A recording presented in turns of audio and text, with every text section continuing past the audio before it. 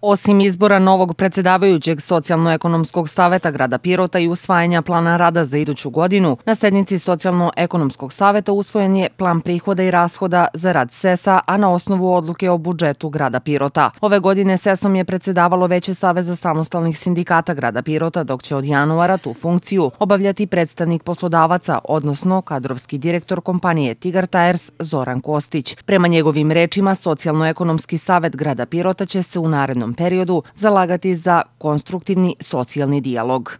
Naredna godina će biti izazovna kao i sve godine do sada, ali smatram da je socijalni dijalog ključna stvar u napretku jednog društva i u domenu biznisa i u domenu uh, opšte zdrava ovog kvalitetnog života naših zaposlenih i građana uopšte. Uh, kvalitetan dijalog koji smo imali u prethodnom periodu uz aktivno učešće svih članova će, nadam se, dopriniti tome da će socijalno-ekonomski savjet grada Pirota i dalje biti aktivan, imati jasne i kvalitetne predloge prema Republici, prema vladi, za dobrobit svih građana našeg grada.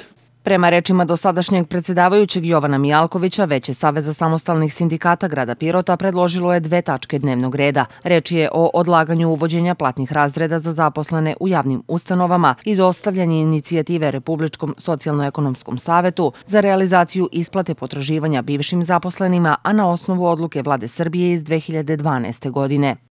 Bilo je naznaka da će se to uraditi 2018. godine, ali to je malo odlagano, onda je krenula ova ekonomska kriza izazvana pandemijom virusa korona i mi ćemo postaviti inicijativu Republičkom sesu da nam ministarstvo odgovori kada ima nameru da izvrši ovu sudsku presudu koja je naravno naložena iz Međunarodnog suda u Strasburu.